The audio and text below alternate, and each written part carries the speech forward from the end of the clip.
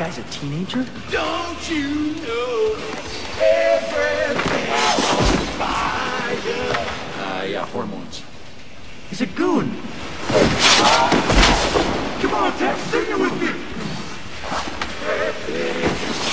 Here you go, please.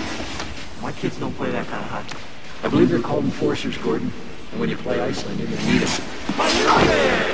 Who does this guy think he is?